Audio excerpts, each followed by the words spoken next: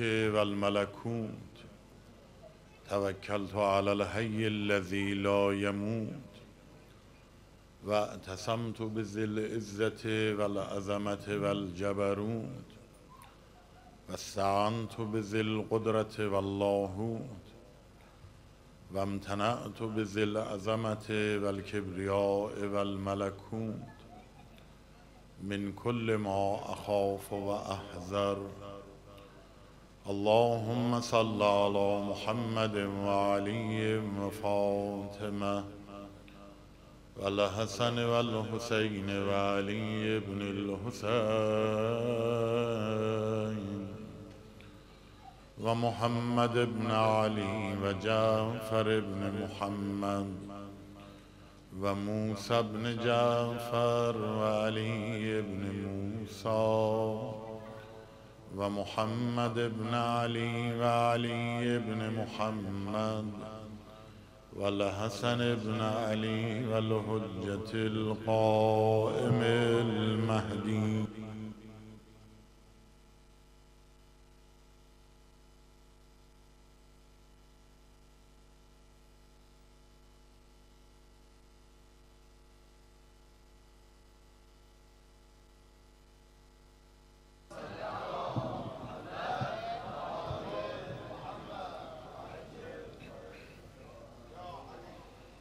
Ru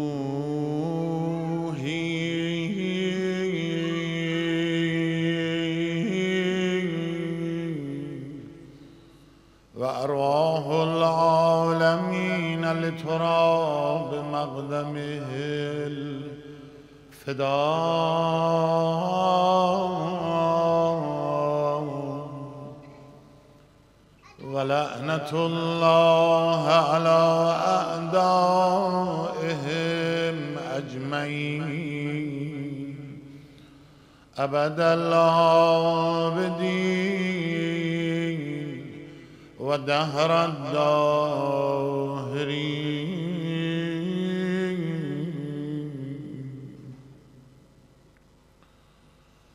جان ناقابل من قابل قربان.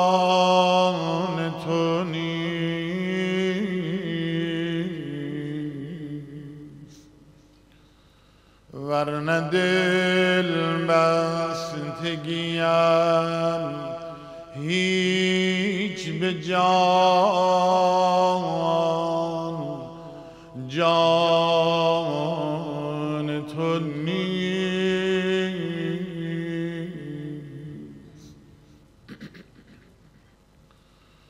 شاهد حال بود وضع پریشان که مرا بستگی جز به سر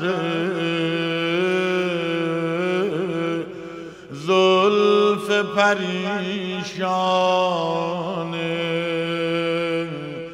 تو نیست.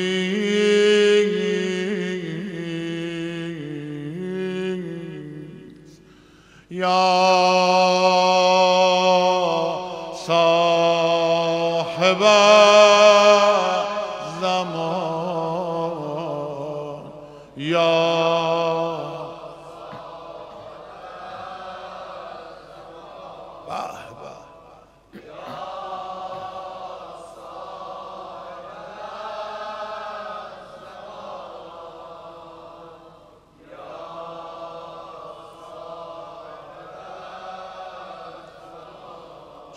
شوم محرم کویت. بکنم جام ز تن چون که این دلق کهن لایق ایوان تو نیست. یا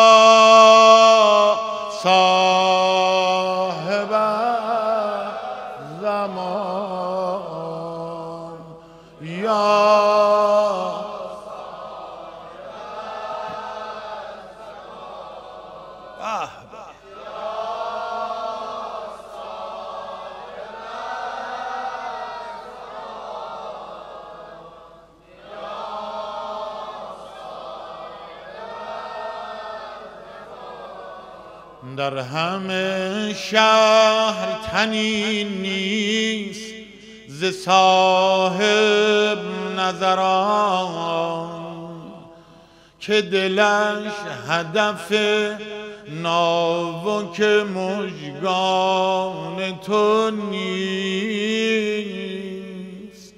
روز محشر که زهولش سخنان می‌گویم.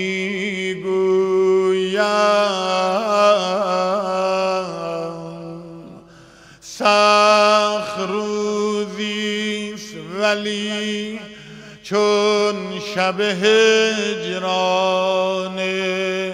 تو نیست.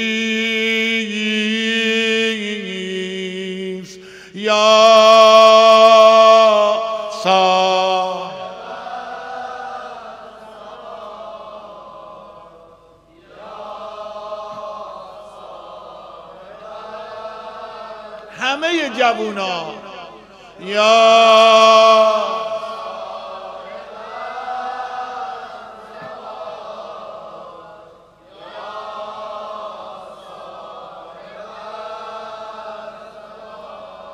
آب حیوان که بود مایه عمر ابدی. چشمه آن به جز از چاه زنخدان تو نیست.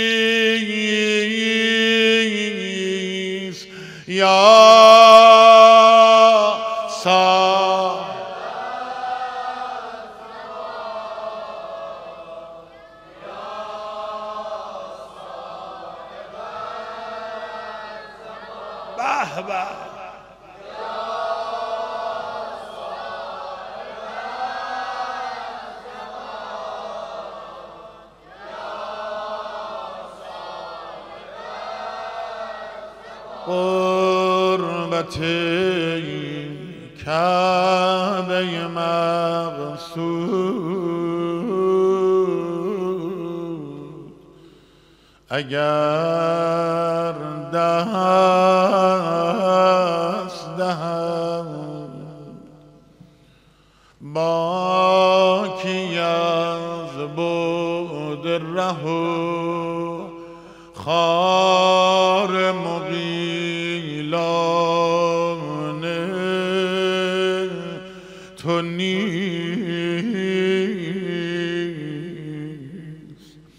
یا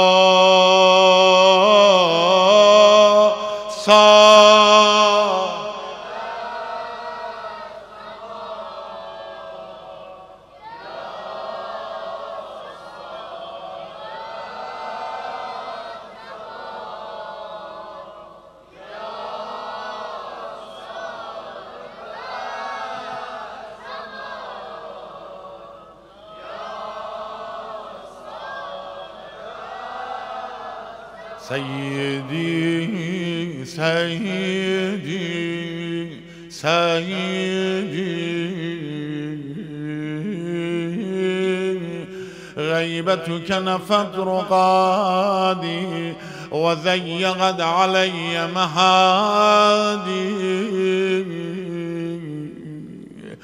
وابتزت مني راحة فؤادي. سيدي سيدي سيدي. غيبتك أرسلت مصابي بفجاء الأبد وفقد الواحد بعد الواحد يفني الجمع والعدد يا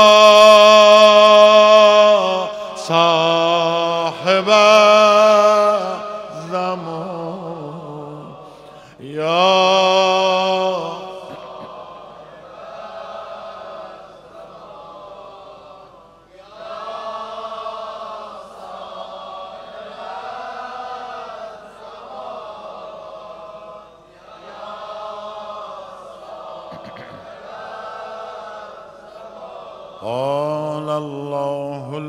الحكيم في كتابه الكريم قل ما سألتكم من أجر فهو لكم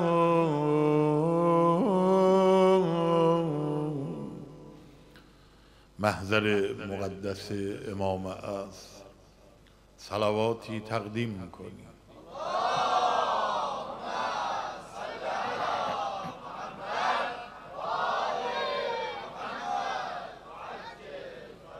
ترویح روح شهدا علما علامه مجلسی صلوات دوم جلیتر تقدیم کنیم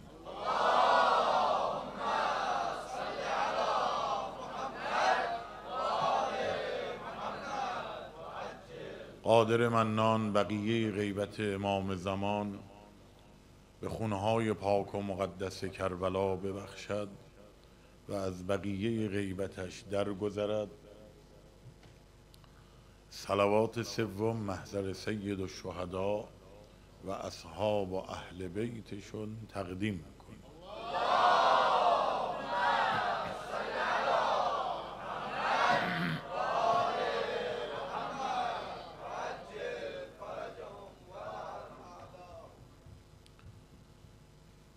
در این شبهای باقی مانده از مجلس که در محضرتون هستیم به صفات و خیرات و جنبه های نوری و وجودی از نور محبت و ولایت سید الشهدا ابا عبدالله الحسین علیه السلام اشاراتی خواهیم کرد. اونچه که نقاط رئیسه و اصلی. جوهر الجواهر اصل الاصول کل الکمال حاصل.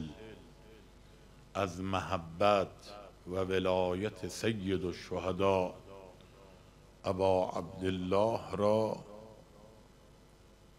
اون نقاط اصلیشو که مادر همه صفات و همه خیرات و همه وجودات است بر اساس حدیث خاتم انبیا صلی الله علیه و آله و سلم بیان خواهیم کرد. نقطه ای که امشب مورد بحث است که اثر محبت و ولایت امام حسین و وجود نازنین امام است عجل الله تعالی فرجه الشریفه مقام زهد در دنیاست. چند مقدمه رو باید بیان کنم. مقدمه اول بالاترین مقاماتی را که بشر در علم در فنون در علوم در قوا و انرژی ها به دست آورده مقاماتی است که انبیا به دست آورده ما حصله الانبیاء العظام علی الخصوص انبیاء اولو العزم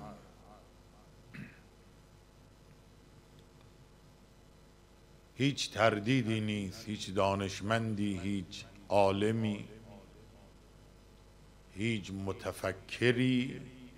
منکر نیست که انبیا فرهیختگان برتر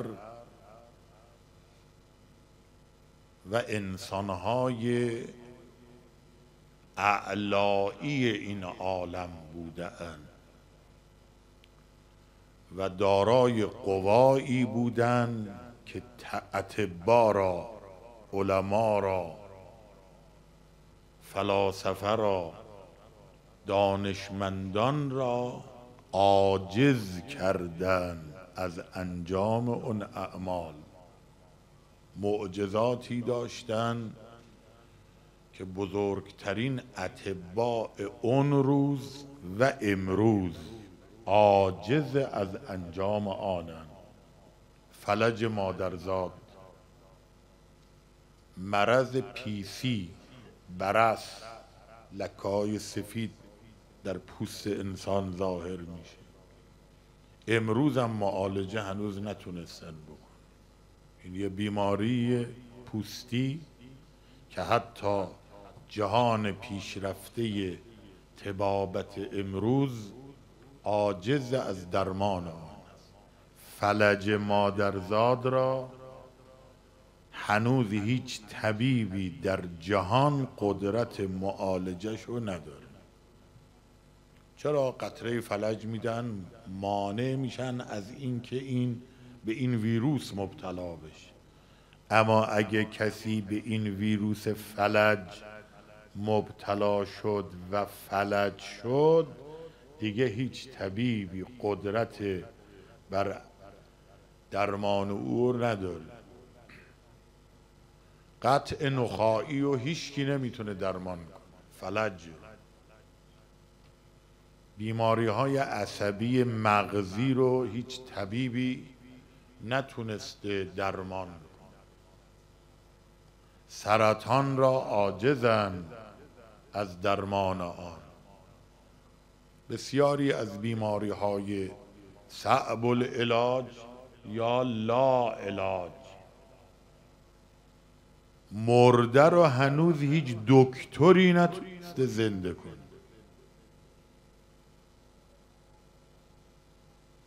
اونم مرده هزار سال پیش مرده ده هزار سال پیش. در توی سرکان رفتیم قبر بعقوب نبی. شب دزدا حمله کرده بودن حفاری کرده بودن به قبر دستبرد زده بودن. نمی‌دونم چه معجزه ای شده بود که تمام این عملیات حفاری نیمه کاره رها شده بود دزدا فرار کرده بودن قبر دست دخورده بعقوب نبی مال پنج هزار سال پیشه بدنش سالم من خودم دیدم. بدن سالم سرش تراشیده بود. هیچ عضوی از اعضایش مختصر تغییر شیمیایی نکرد از پنج هزار سال پیش تا الان. حضرت عیسی به سریح آیه قرآن همچه مردهایی رو زنده کرد. مال چند هزار سال قبل. حتی مرده هایی که بدنشون هم سالم نبودن. زندهشون کرد قرآن میگه جن و انس دکترا فوق العاده ها باهوشا طبیبا جن انس همه. دست به دست هم بدن یه مگس بخوان درست کنن نمی‌تونن. لو قل لو اجتمعت الجن والانس. الا ان یخلقوا ذبابا جن و انس جمع بشن که یه مگس بخوان درست کنن نمی‌تونن. حضرت عیسی از گل پرنده درست می‌کرد پرواز می‌داد تحیی الموتا تبرع الاکمه والابرس. تخلق من التین که هیئت تی فتنفخ فیه به اذنه یا به اذنی در آیات متعدد.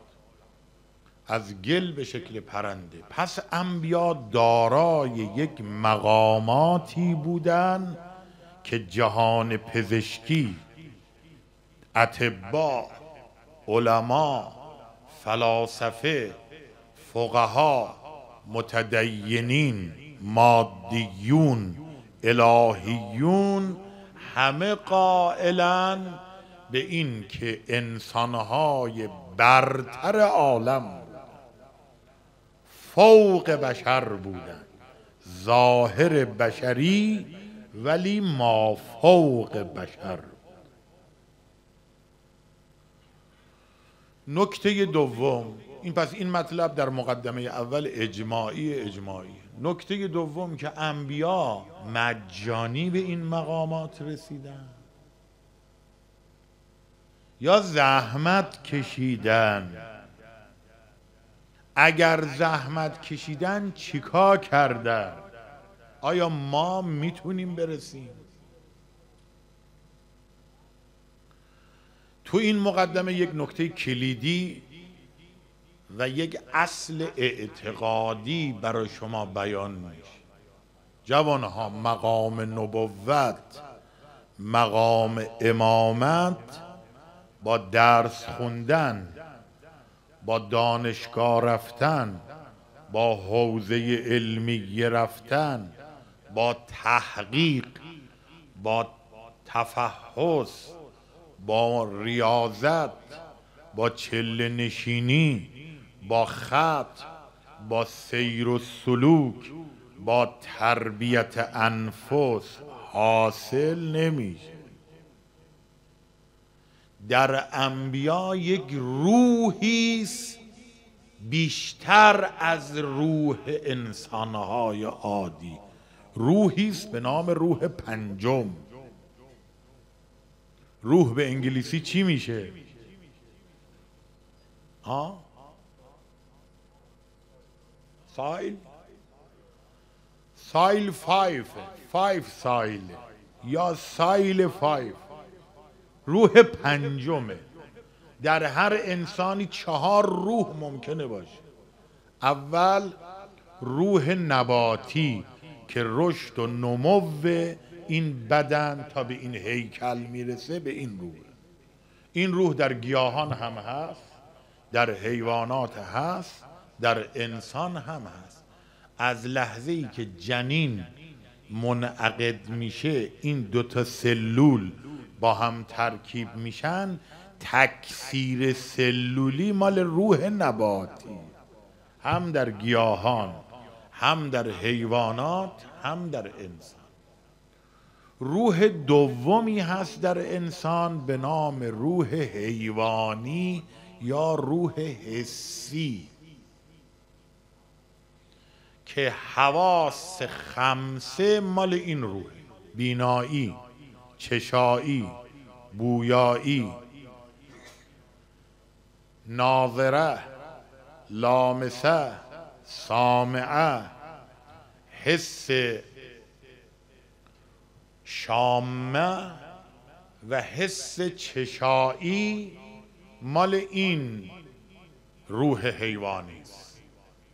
هذا هو الروح الثانی و اثره الحرکه و قواه الشهوه و القذب. دو تا نیرو هم داره شهوت و غضب روح سومی هست که هو روح الثالث. بهش میگن نفس ناطقه انسانی العقل. و تمییز و تشخیص و تفکیر و تأمل و الفهم و الفکر و الحفظ و نطق قدرت گفتگو قدرت انتقال معانی ذهنی به دیگران به اغیار مال این روحه. قدرت فکر کردن درک کردن تعقل تشخیص و تمییز و تعلیم و تعلم و حافظه و خیالیه و وهمیه و اینا مال این روحه. این روح فقط در انسان هست در انسانهای عادی هست. ورای ادیان فوق ادیان. و ملل و تاریخ و جغرافی این روح در همه هست. روح چهارمی هست که فقط در بندگان مؤمن خدا هست به نام روح الایمان. تقوا ایمان شرافت عزت عبودیت تسلیم خدا بودن درک وحی الهی قبول مقام وحی پذیرش احکام الهی از انبیا مال این روح. این رو بهش میگن روح الایمان. این در ملائکه و در انسانهای مؤمن. این روح چهارم انسانهای عادی ولو سلمان باشند ولو ابوذر باشند ولو مقداد باشند بیش از این چهار تا روح روح دیگری درشون نیست. اما فل انبیا در انبیا روح پنجمی هست به نام روح القدس. یا روحا من امرنا. این روح به پیغمبر چشم باز میده. ماورای زمان ماورای مکان ماورای جدار دیوار ماورای جبل ماورای زمان را می‌تواند ببیند. گوش باز میده. همه صداها را می‌شناسد میشنود. همه لغات را می‌شناسد. به همه زبانها سخن می‌گوید. یعلم اللغات و الالسون و منطق التیر و له طی الارض من من الشرق الى الغرب یطوی الارض به لحظت واحده در یک چشم به هم زدن از شرق عالم به غرب عالم. می‌تواند مرده را زنده کند. می‌تواند سرعت در تکثیر سلوله های فرسوده بده. جبران استخوان شکسته بکنه. استخون شما وقتی میشکنه از هم جدا میشه. این عزم شما وقتی مکسور میشه شکسته میشه. چه کار وقتی جوش می‌خوره مثلا یه ماه طول می‌کشه. این سلولای استخونی دو مرتبه جبران کنن بافتهای شکسته رو ترمیم کنن. این استخوان مکسور مجبور میشه جبران میشه. خوب میشه. پیغمبر وقت دستشو می‌ذاره روی این استخوان همون کاری که باید تو یه ماه خون تغذیه کنه این استخوان را تکثیر سلولی کنه این استخون رو جوش بده تو یک ثانیه انجام تو یک لحظه انجام. اینا بهش میگن قدرتی که در روح القدس هست. و این روح القدس با درس خوندن با تهذیب نفس با تزکیه انفس با مدرسه رفتن با ورزش کردن با ریاضت کشیدن با سیر و سلوک با فلسفه خوندن با عرفان خوندن به دست نمیاد. خدا باید از میان بندگانش انتخاب کند. کسانی را برای اعطاء روح القدس. ما کاری نیست. تحصیلی نیست. نمیشه کسبش کرد. الامام واحد و دهره لا یدانیه احد ولا یعادله عالم ولا یوجد له بدل. ولا له مثل ولا نظیر مخصوص بالفضل کله من غیر طلب من ولک اکتساب بل اختصاص من المفضل الوهاب فمن ذا یبلغ معرفت الامام او کن هوس یه مثال ساده بزنم. هم یه لبخندی به لباتون باشه. هم مطلبی رو که گفتم خوب بفهم.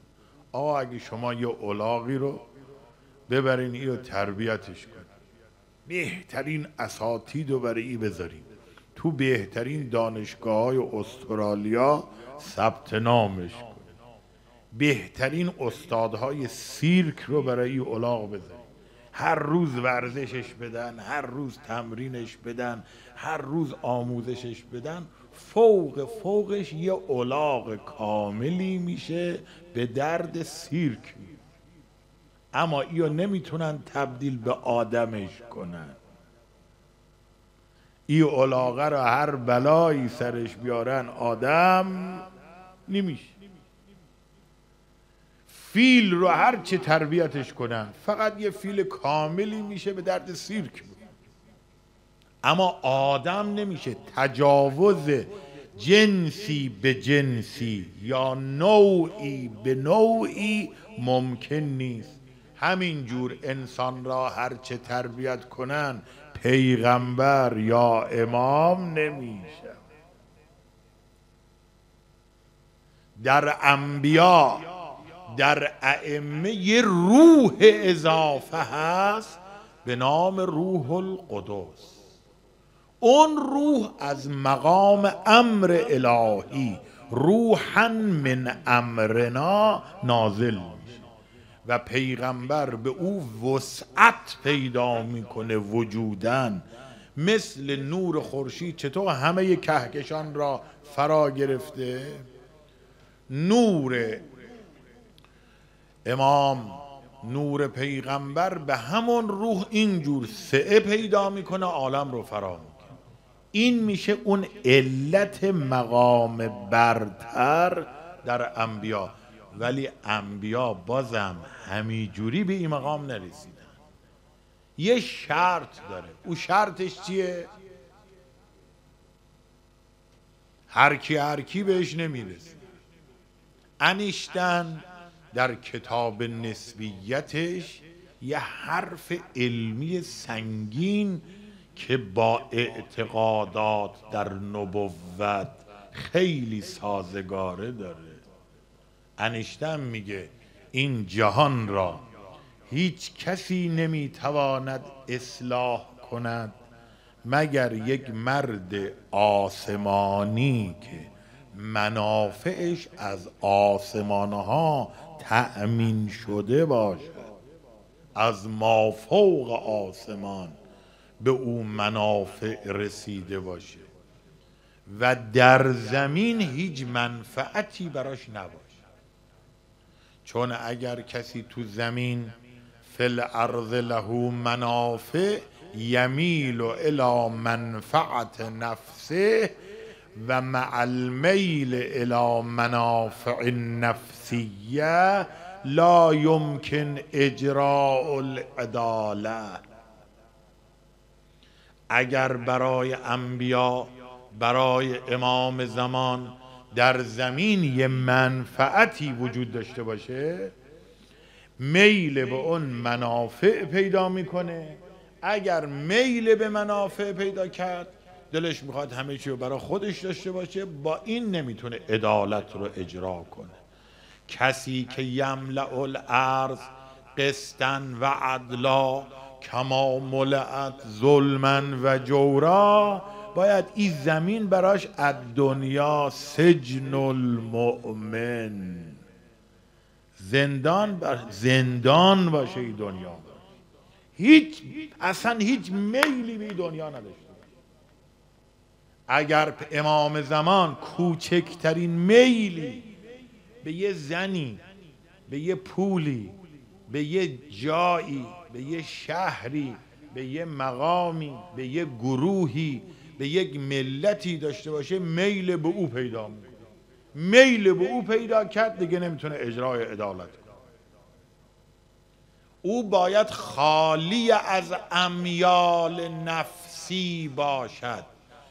هیچ میلی به منافع در زمین برا او نباشه. به جوری که تمام این دنیا سجن باشد برای امام زمان. دنیا سجن المؤمن و جنت الکافر. بله شهر آدلاید و سیدنی و استرالیا و اینا برای کفار بهشته. اما همینقدر که برن تو قبر چنان به قل و زنجیرشون میبندن. که همش آرزو می‌کشن برگردن به دنیا.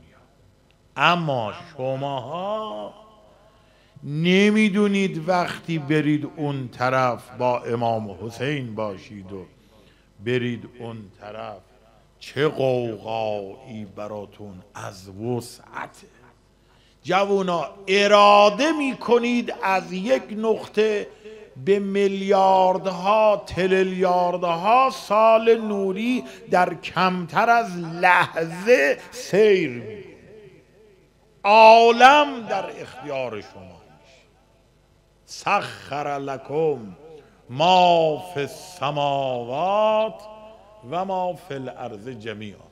به شرط اون روح الایمانه باش پس اگر در انبیا روح اضافه هست بفهمیم این مقام از کجا به دست آمده از زهد حالا دعای ندبر بخونیم. و شرط علیهم الزهد فی درجات هذه دنیا دنیه و زخرفها و زبرجها فشرتو لک ذالک و علمت منهم الوفاء به فقبلتهم و قربتهم. لما صار الانبیاء انبیاء لما لهم هذا المقامات العلویه والعالیه بل اعلا الیینی به ای مسئله و ریاضت به ای عمل وصلوا الى هذه المقامات؟ انبیا از کجا رسیدن به این؟ شرط علیهم الزهد فی درجات هذه دنیا دنی با انبیا شرط کردی در این دنیا آلوده به دنیا نشی. میل به دنیا پیدا نکن. با یه شرط کردن کسی به این مقام نمی‌رسه. با شما هم شرط کردن. ولی یک مکمل می‌خواد. و علمت منهم الوفاء خدایا تو یقین کردی انبیا وفادارن. علمت منهم الوفاء به یقین کردی انبیا وفادارن به این شرط ما هم بهمون شرط کردن آلوده به دنیا نشیم اما ما نامردیم. ما همش بیوفایی می‌کنیم حضرت آیت الله العظما وحید خراسانی رو منبر درس سر درس فرمودن امام زمان من خجالت می‌کشم خودم را سگ تو بدان.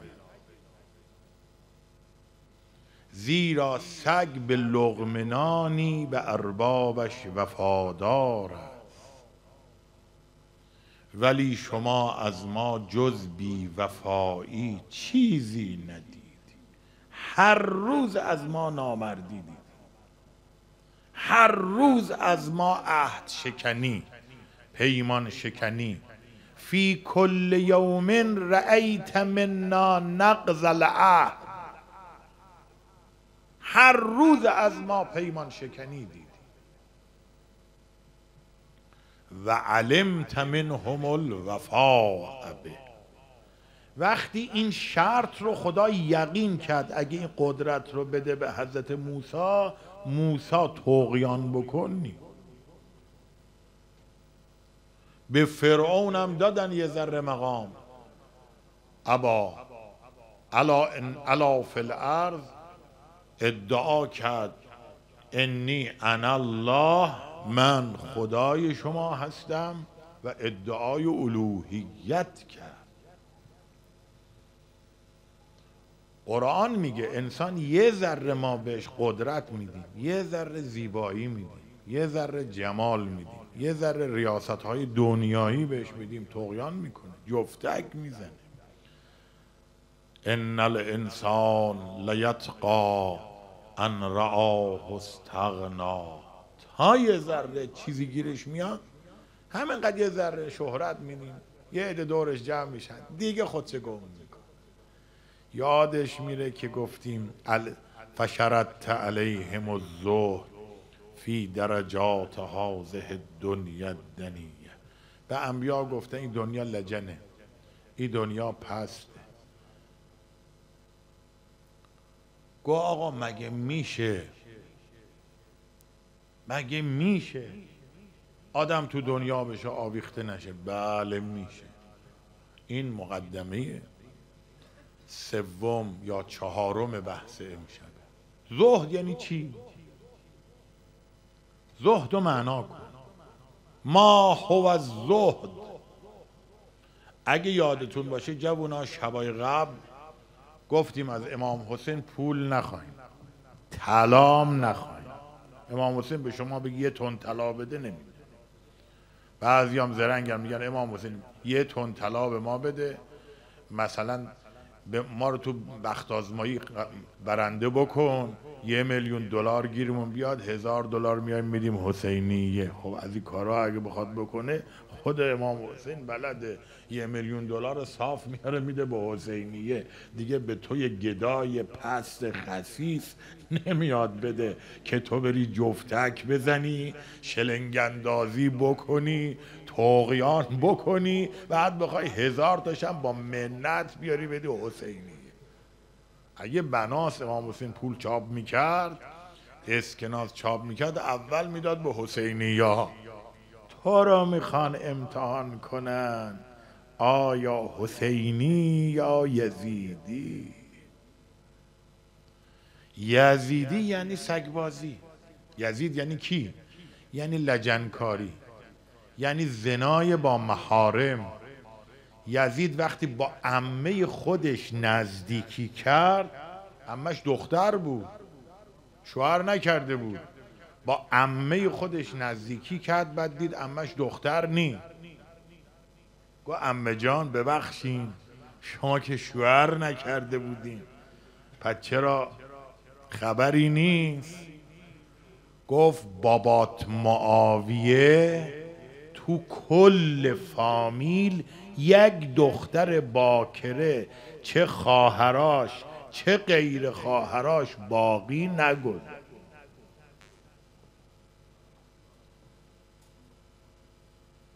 بکارت منو بابات معاویه برداشت یعنی معاویه با خواهر خودش.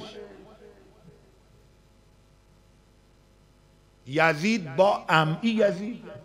اگر یه کسی مثل حیوانات زندگی می‌کنه هیچ حد و حدودی نمی‌شناسه. چشش به هر ماده ای افتاد. بلافاصله مثل اولاغ نری که بر ماده ار و ار می کند و می جهد. می جهد این یعنی یزید. کسی که بدمستی می‌کنه که از شراب خاری عقل و هوش و شرافت و عزت و غیرت و خواهر و مادر و دخترش رو براش مهم نیست یا مواد مخدر مصرف می‌کنه و هیچ هویتی دیگه نمی‌شناسه. این یعنی یزید. خیال می‌کنی یزید چیکار می‌کرد؟ سگ بازی میمون بازی حوز شراب میافتاد تو حوز اونقدر می‌خورد که احساس کنه یکم از این کم شد. یزید یه اسم نیست یه و زه و یه و دال. یزید یعنی هر کسی که این صفات رو داره. حسین یعنی چی؟ یعنی شرافت. یعنی عزت. آیا اونایی که می‌خواستین بپرسین حسین یعنی چی؟ حسین یعنی غیرت. حسین یعنی بانویش با افاف و با حیا یعنی قامت خواهرش رو تو زدن و بردن و کشیدن حتی یه نامحرم صورت زینب و ندید. یعنی قبلش به زنها فرمود خواهرم به زنها بگو مهیای اسیری باشن لباسهایی بپوشن که اگه دنبالشون کردن چادر از سرشون کشیدن باز پوشیده باشن. حسین یعنی شرافت. حسین یعنی کسی که نمی‌تونه بینه یه فقیری داره به خاری میفته. قرض می‌کرد زحمت می‌کشید نمیگذاشت یک انسان به خار حسین یعنی کسی که تحمل نداشت خاری یک انسان رو ببینه سال یک بار بار عام داشت. هر کی بدهکاره هر کی گرفتاره هر کی زندانی هر کی به خاطر بدهی افتاده زندان بیارید من بدهیشو میدم من قرضشو میدم. اگه تو آدلاید اگه تو استرالیا اگه تو آمریکا اگه تو شرق اگه تو غرب پیدا کردین یه فرمونداری یا استانداری که سال یه بار در خانه شوا کنه بگه هر کی بدهکاره هر کی زندانیه هر کی ازدواج نکرده به خاطر بیپولی هر کی خونه نداره مستجره بیاد من براش خانه می‌خرم.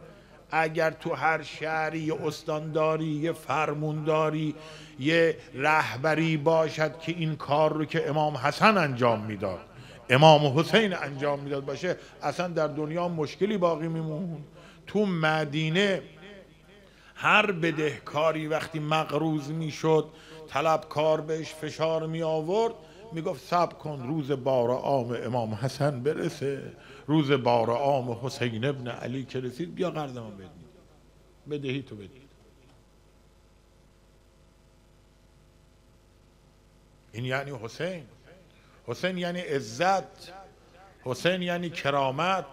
حسین یعنی کسی که زیر بار بیعت با یزید یعنی پناهندگی یا نه تحت حکومت یک سگباز یک شرابخوار یک بیهویت نرفت و نتوانست برود و نخواست. فرمود مرگ برای من بهتر از زندگی تحت ذلت بیعت. که شهروند یزید باشه. یعنی حسین یعنی حریت. حسین یعنی کرامت. حسین یعنی شرافت عزت. حسین یعنی غیرت.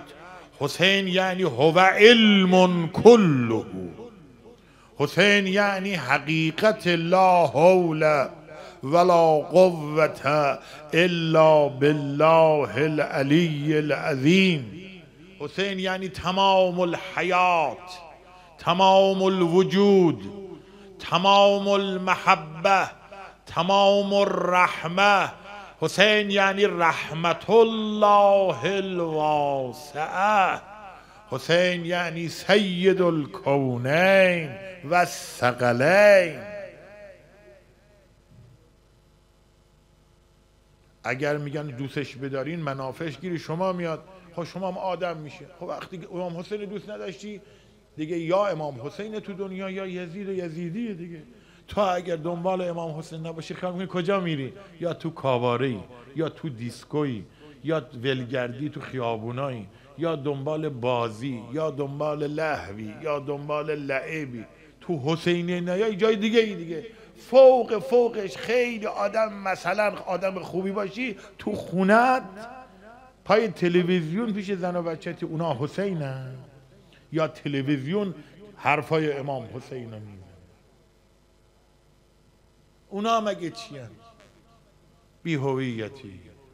خانم تالا چی یاد داده؟ یا شوهرت چی تالا بهت یاد داده؟ بچه ها چی بهت یاد دادن؟ بابات که استاد دانشگاه چی به یاد داده؟ یه ذره اینان از خودتون بپرسین. اما هر وقت آمد این خونه امام حسین بعد 1400 سال این حسینی ها با امام حسین فاصله داره فاصله زمانی داره. چند هزار کیلومتر از اینجا تا کربلا که رو خاک های گرم کربلا افتاد فاصله زمانی داره فاصله مکانی داره. خیال می‌کنین هر وقت آمدین توی حسینیا چی گیرتون آمده؟ جان حضرت زهرا بگین چی گیرتون اومده. چند نفرتون تصمیم گرفتین از این بعد نمازاتون اول وقت بخونید چند نفرتون تصمیم گرفتین توبه کنید چند نفرتون تصمیم گرفتین پولاتون رو برای خدا خرج کنین؟ معقول خرج کنین؟ چند نفر سیگارتون رو ترک کردین؟ چند نفر لحو و لعب بازی های بیهوده. همین بازی هایی که میشینین کامپیوتری بازی می‌کنین. شب تا صبح درس آمده اینجا درس بخونه ها. شب تا صبح پای بازی های کامپیوتری نشست. خیال می‌کنین اونا چی بگیریتون میاد؟ اما هر وقت آمدی اینجا این دلت آرامش می‌گیری.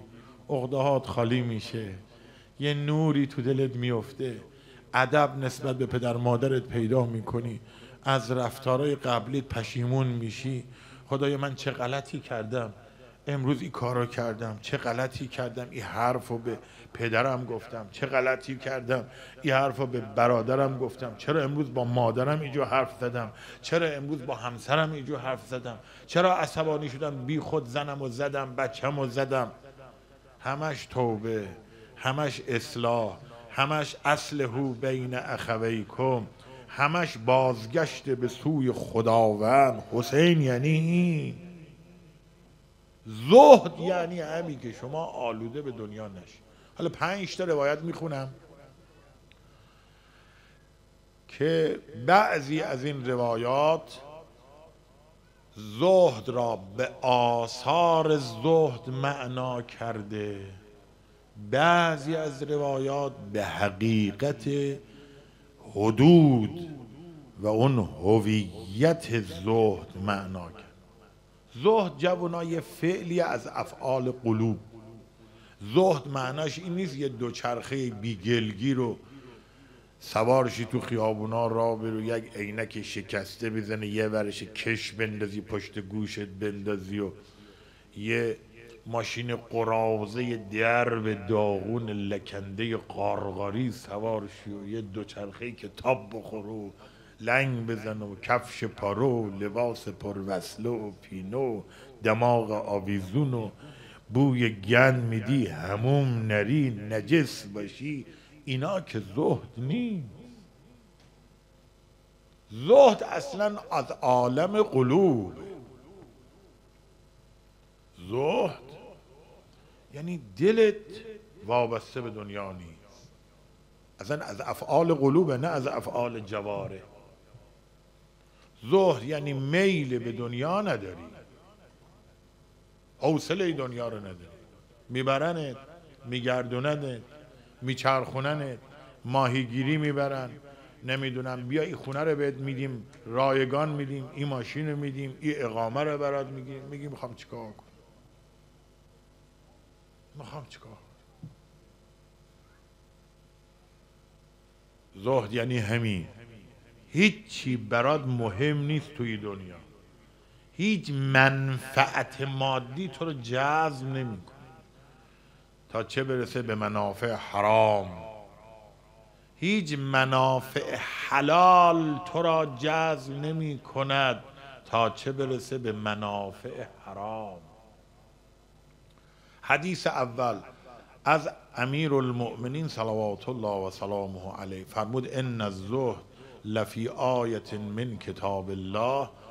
زهد و خدا در یک آیه قرآن بیان کرده. کدوم آیه؟ لکیلا تأسفو علا ما فاتکم ولا تفرحو به ما آتاکم. زهد یعنی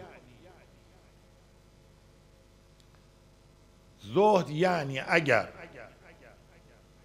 چیزی در این دنیا به دست آوردین خوشحال نشید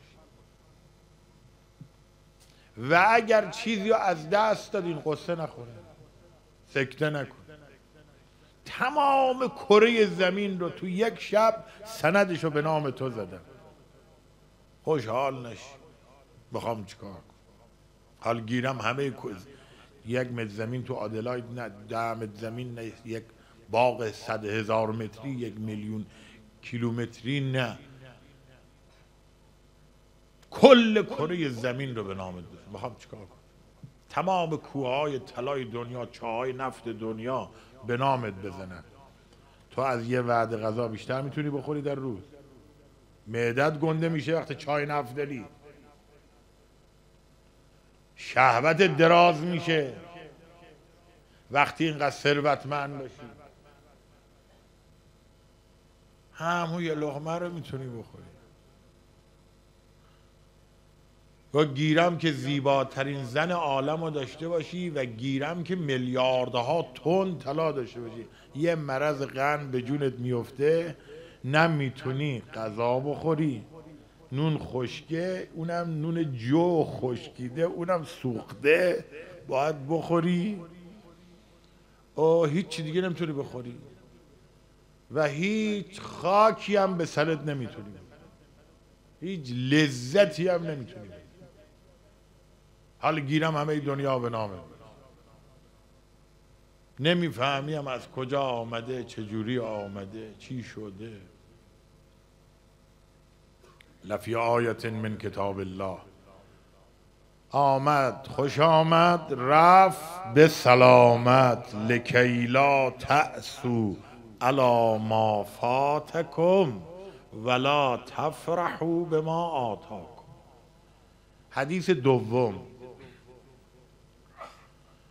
در وصیت امام حسن علیه السلام به جناده است.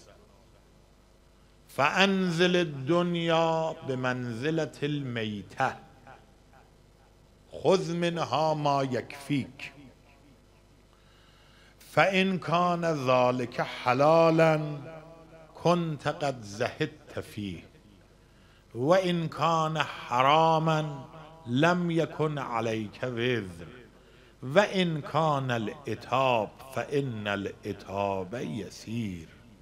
و اعمل لدنیاک کانک تعیش ابدا و اعمل لآخرتک کانک تموت غدا. زهد می‌دونی یعنی چی؟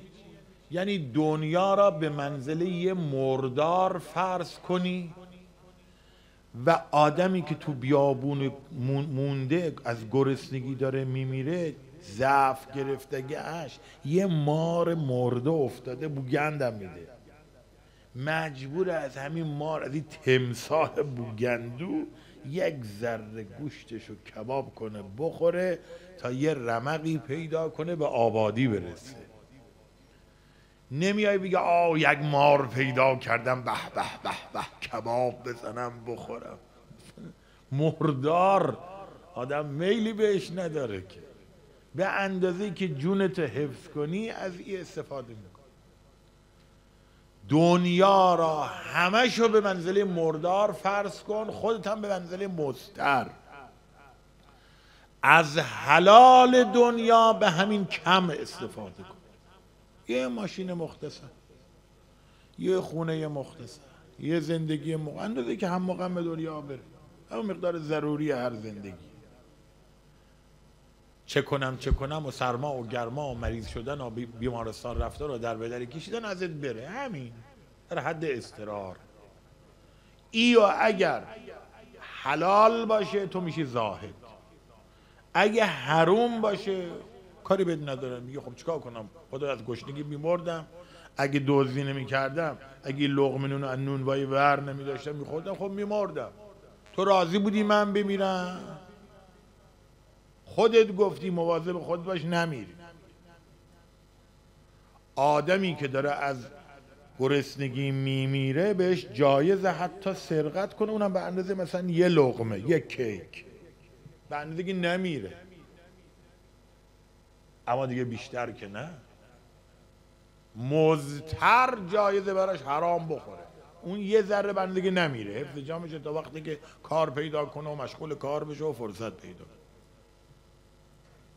و اگر شبهناک باشه او لغمه که خوردی اتابش اندگه پس در این حدیث زهد را به اکتفاع به حد اقل ضروری فی دنیا ترجمه کرده حدیث سوم که این حدیث خیلی زیباست. از امام صادق علیه السلام فرمود لیس زهد الله تملک شیئا زهد این نیست که تو مالک چیزی نباشی. انما الزهد ان لا یملک شیئون یا اسیر النفس یا اسیر الشهوات. یا اسیر النساء. یا اسیر الاموال لیس الزهد ان لا تملک شی. انما الزهد ان لا یملک شی. زهد این نیست که تو هیچی نداشته باشی. همه چی داشته باش. میلیون ها کارخونه داشته باش. میلیون ها زندگی داشته باش. میلیون ها ثروت داشته باش. زهد آن است که چیزی مالک تو نشده باشد. توی بدبخت اسیر نشده مملوک کسی نشده باش زهد اویه که همه دنیا به نامت باشه. فرمانده کل عالم باشی ولی تا صدای نازنین امام زمان بلند شد بتونی همه رو راه کنی بگی یا صاحب از زمان یا صاحب از زمان یا صاحب از زمان لبیک لبیک مولای یا همه رو اصحاب امام حسین چجوری بودن؟ یک درجه بالاتر از زهد می‌دونی چیه جوونا؟ انتظار.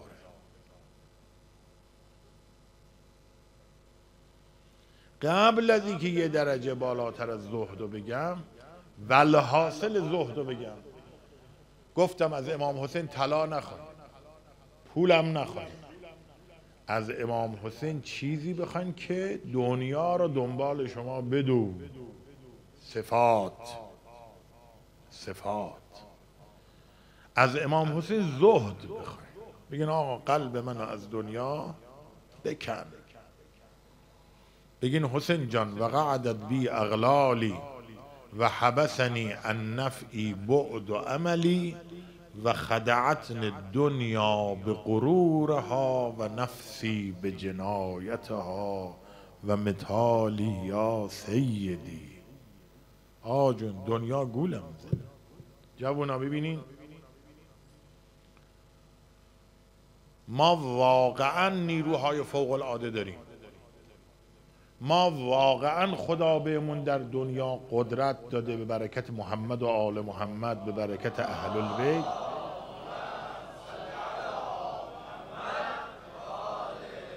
ره صد ساله را یک شبه می‌تونیم بپیماییم. فرمودن یک درهم از اموالت به امام زمان سله کنی. یه درهم پول تو برای امام حسین بدی. افضل است از یک میلیون درهم که در حج خرج کنی. یک درهم که در حج خرج کنی افضل است از یک میلیون درهم که در سایر وجوه خیریه خرج کنی. درهمون فی الحج خیر من الف الف درهم فی سائر وجوه البر و درهم یوصل به الامام علیه السلام افضل من الف الف درهم فی الحج. الله اکبر. الله اکبر. یک درهم در راه حج خرج کنی افضل است از یک میلیون درهم که در امور خیریه خرج. و یک درهم که به او سله به امامت بکنی به امام زمانت بکنی افضل است از یک میلیون که در حج خرج کنی. یعنی یک میلیون زب در یک میلیون. دیشب بعضی یه متر زمین خریده بودن. بعضی ها پولاشون رو برای امام حسین دادن. اونا حالا یه حادیث رو بشن زهد یعنی بتونی این کارو بکن زهد یعنی دنیا اینجور نچسبیده بهت باشه که وقتی ببینی کار مولایت امام حسین وقتی که خونه امام حسین که باز نفعش به خود ماها می‌رسه. حالا امام حسین که توی حسینیه نمیان که. این خانه در واقع خانه همه ماست. و چرا من میگم همتون بدین ولو کم بدین؟ ولو یکی صد دلار بدین ولو یکی دویست دلار نفری 500 دلار مختصر بدین برای اینکه همتون اینجا رو مال خودتون بدونید فایدهش اینه که همتون بیاین بعدش. فایدهش اینه که مال خودتون بدونید شرکت کنید. فایدهش اینه که دفاع کنید از هویت اینجا. فایدهش که پاش وایسین. فایدهش اینه که اگه دشمن پیدا کرد بگید مال خودمونه من پول دادم. مال خودمه دفاع می‌کنم از خانه مولایم ابا عبدالله. چرا میگم حتی بچه های کوچیک قلکاشونو بیارن؟ چرا میگم حتی زنهایی کارو بکنن؟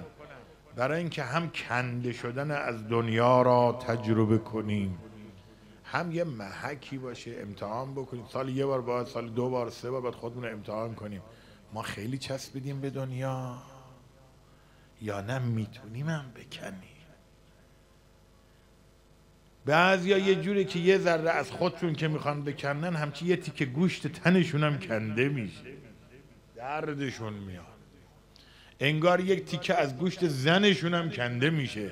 جیغ زن و بچهشون هم در میاد. ای جور وابسته به دنیا. اما اونایی که تو کربلا بودن اونا چشون شده بود.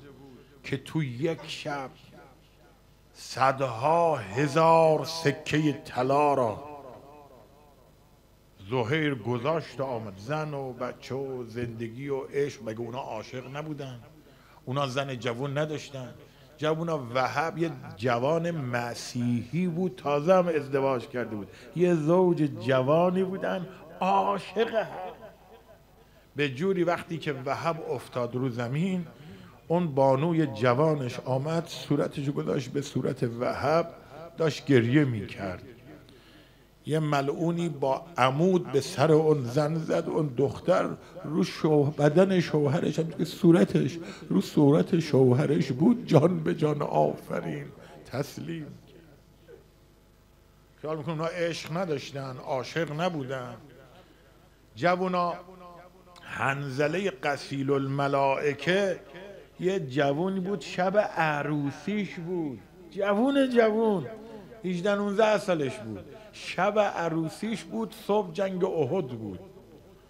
شب زفاف کرد خودش رسون به پیغمبر. صبح زود حتی فرصتی که قسل جنابتشو بکنه پیدا نکرد. جنوب به شهادت رسید. یعنی اینقدر فرصت نکرد قسل جنابت شب زفافش رو انجام بده. خودش رو سریع رسون به میدان جنگ.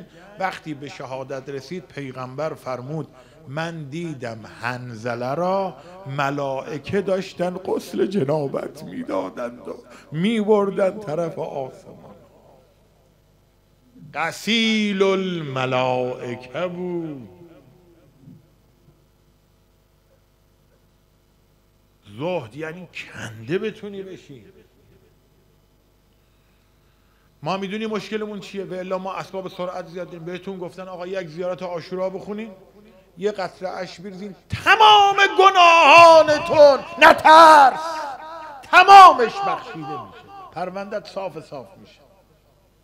آقا یه کسی تو دادگستری پرونده داره یه قاضی وکیل میاد میگه آقا پروندهش بدین. من یه کاری می‌کنه تمامی پرونده صاف هیچ می‌ذاره رو قاضی. بلکه تو قرآن داره پروندتی که امام حسین صاف می‌کنه هیچی قرآن میگه اولائک یبدل الله سیعاتهم حسنات. اگه جانش و مالش و زندگیش رو برای امام حسین کسی بده برای امیر المؤمنین بده برای امام زمون بده وقتش جوونیش عمرش پولاش رو برای امام حسین بده خدا نه تنها گناهاشو پاک می‌کنه عوض گناهاش تو پروندهش این ثوابهای عجیب و غریب مینه که جوری که روز قیامت پروندهش که میده نگاه می‌کنه حج نوشتن نماز شب نوشتن خیرات نوشتن یتیم نوازی نوشتن چه چه چه. میگه خدای مال من نیست عوضی خطاب میسه نه.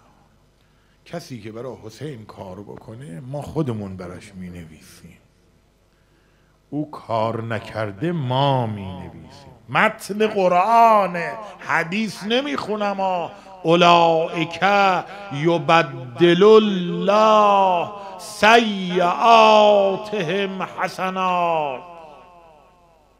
خدا سیعاتشان را تبدیل به حسنات می‌کنه. اونم با ذریب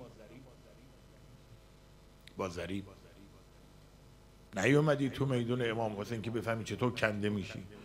مگه آدم چجوری باید ره صد ساله چرا یک شب قدر بیشتر از هزار ماه تو رو بالا می‌بره؟ خب شب قدر چیه؟ توسعه در زمان زندگیتون یعنی چی؟ یعنی یک شب ره صد ساله رو بپیمید گفتن آقا روز عید قدیر و روزه بگیری به اندازه عمر دنیا عبادت پاد نوشته میشه. مگه سرعت یعنی چی؟ یک دنیا عمر کنی تمامش هم عبادت کنی. به یه روز روزه در قدیر خم پاد می اینا مگه کمه؟ یعنی یه موتور جت با سرعت نور برای شما یک سفینه فضایی درست کردن. با موتور جت که با یک سرعت فضایی ما فوق نور به افق اعلا به بلندترین بلندی ها پرواز زمینش هست. راهش که خودتون رو بس کنید به امام حسین. حالا با بذل مالیه با شرکت در مجالسه با کار حسینی کردنه با صفات حسینی داشتنه با خیرات حسینی داشتنه با شباهت به امام حسین پیدا کردنه راهش ایه خب چرا ما میایم حسینیه گریه هم که خوب می‌کنیم پول هم که میدیم چرا پس عوض نمیشیم؟ از در که میرون بیرون دوباره همون گندیده قبلی احمد پوده همان بوده که بوده. چرا ما عوض نمیشیم پس؟ یه ایراد هست. شما یه موتور یه هواپیما بخرین یه موتور جت روش باشه دو تا موتور سه تا موتور جت روش باشه که بتونه به سرعت نور شما رو پرواز تو کابین خلبان نشستی. خلبانم هستی بلدم هستی موتورا روشن بنزین پر. همه چی مهیا. به یک لحظه تا عرش می‌تونین بالا برین پدالای گازم فشار دادین الان که یه هواپیما از زمین کنده بشه تکاب کنه پرواز کنه. اما هفتش ده تا زنجیر فولادی از بالها. این چرخهای هواپیما.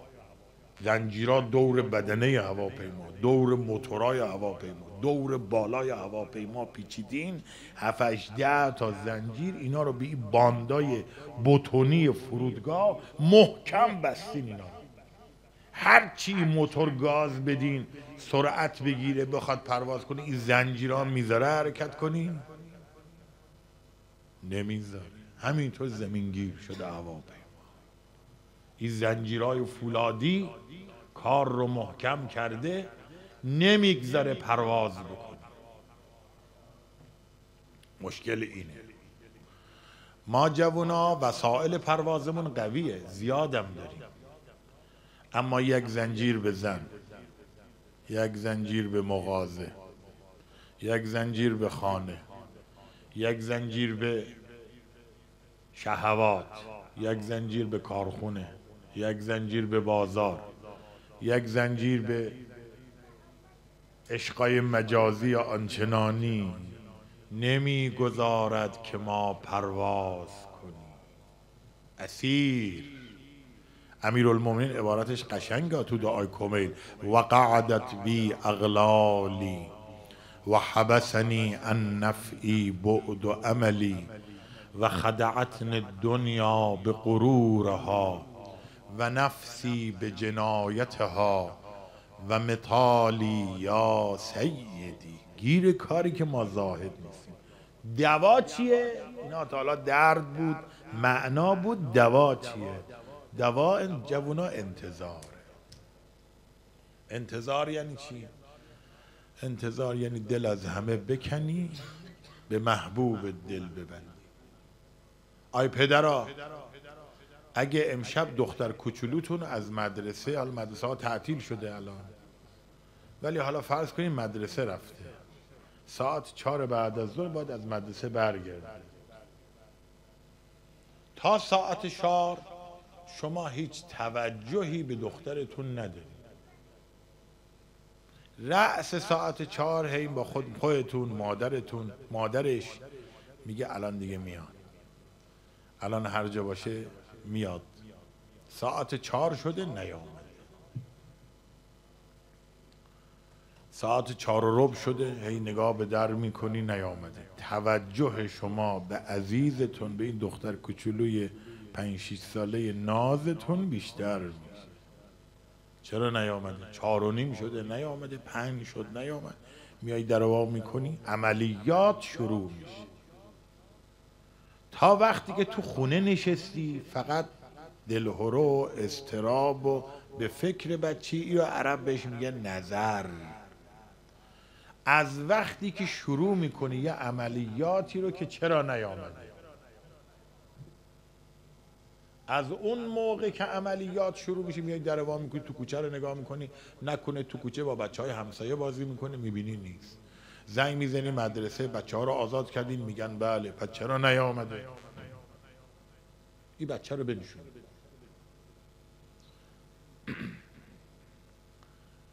زنگ می‌زنی پس چرا بچه ها پس چرا نیامده؟ نمی‌دونیم بچه ها رو آزاد کردیم سوار سرویساشون شدن آمدن. به خونه دوستش زنگ می‌زنی به مادر دوستش زنگ می‌زنی به این همسایه به فامیلتون خبری داریم. آیا چیزی شده؟ ساعت شیش بعد از ظهر شده هفت شده هشت شده هنوز خبری از دخترتون نیست. به پلیس زنگ می‌زنی به بیمارستان ها زنگ می‌زنی خودت هم دیگه آروم نمی‌گیری تو خونه نمی‌تونی بشینی که. بگی من منتظرشم تا بیاد.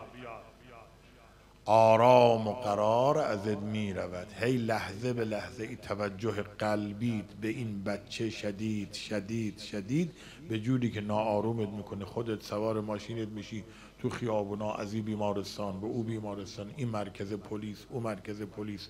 همه جا رو سر می‌زنی هر جا احتمال وجود گم شده ها رو بدی میری تا پیداش بکنی. وقتی ساعت دوازده شب شده هنوز دخترتو پیدا نکردی چه حالی داری؟ میای می‌گیری راحت میخوابی؟ خوابت می‌بره؟ مادرش میخوابه؟ می‌تونی بخوابی؟ اگه اون موقع بیکی بیاد بگه آقای معامله می‌خوایم بکنیم فلان جنس آمده بیا بخر. میگه برو آقا من اصلا حوصله ای کار رو وقتشو ندارم اصلا نمی‌تونم فکر کنم. کم کم این توجه قلبی شما به محبوبتون انقدر زیاد میشه که کمک می‌خواین از نیروهای امداد از پلیس از بیمارستان از فامیل. هل من معین هل من معین فاطیل معه العویل والبکا. اشک جاری میشه در فراغ این بچه گریه می‌کنی بیتابی شروع میشه. غرق در توجه به او میشی. ایو بهش میگن انتظار. این حال انتظار. نظر یعنی توجه قلبی به محبوب. وقتی ببریم به باب افتعال برای تمام و کمال فعل مصرف میشه. میشه انتظار. انتظار یعنی تمام توجه قلبی تو به محبوبت باشه. تمامش به جوری که در قلب تو جای توجه به هیچ کس به هیچ چیز هیچ وقت هیچ جا نیست. سه تا مثال همیشه من می‌زنم. یکی مثال از قرآن سوره یوسف. جوونا زنای مصری همه شاهزاده بودن. زلیخا رو مسخره کرده بودن. ها رفته عاشق کنی عاشق غلامش شده. خاک بر سرت بکنن. تو شاهزاده ای عاشق یه غلام زرخریدت شدی. ای دهن به دهن زنا شاهزاده ها دخترها بزرگزاده ها هی حرف می‌زدن. زلیخا برای اینکه حالیشون بکنه. قصه چه قصه ایه دعوتشون کرد. تصمیم گرفت همون بلایی که سر خودش بارها آمده بود یه بار سر اینا بیاد. تا اینا بفهمن یوسف یعنی کی؟ بلایی که سر خود زلیخا آمده بود چی بود؟ بارها بود داشت میوه پوست می‌کرد. چشش به یوسف که میافتاد به جای میوه دستشو می‌برد. پوست دستش می‌کرد. دستشو قاچ قاچ می‌کرد. این بلایی بود که بارها سر خود زلیخا آمد. تمام او شاهزاده ها رو دعوت کرد. مجلس کذایی پرنسس. همه جمع شدن. دست هر کدوم قرآن میگه. یه پرتقال داد یه چاقو. کارت. بفرمایید مشغول پذیرایی از خودتون بشید. میوهاتون رو پوست بگیرید. زنا همه پرتقالا رو گرفتن. دستشون چاقو هم دستشون. شروع کردن پرتقالا رو پوست کردن در اون حال به یوسف گفت وارد شد تا زنا ببیند فلما رأینه اکبرنه و قطعن ایدیهن فقلن هاش لله ما هذا بشر ان هو الا ملک کریم. آی اونایی که میگن سند خون ریزی برای امام حسین کجاست؟ آی اونایی که میگین خون بیرون آوردن از بدن برای امام حسین سند نداره. این سندش تو خود قرآن. چشمشون به یوسف که افتاد چنان یوسف رو بزرگ و با عظمت دیدن. که به جای اینکه پرتقال و پوست بکنن دستاشون رو تیکه تیکه کردن. قطعن ایدیهن. سوره یوسف قرآنت. تو خورده می‌گیری که چرا یه ذره خون از سر من آمد برای امام حسین؟ یا خون از بدنم آمد؟ میگی سند نداره. میگی روایتی که حضرت زینب سرشو کوبیده به چوبه دار به چوبه محمل. سرشو حضرت زینب کوبید به چوبه محمل. روایتش اعتبار نداره. بی سواد قرآن هم قرآن هم اعتبار نداره. یا قطعن ایدیه هنه رو جور دیگه می‌خوای معنا کنی نامرد. تیکه تیکه کردن دستاشونو.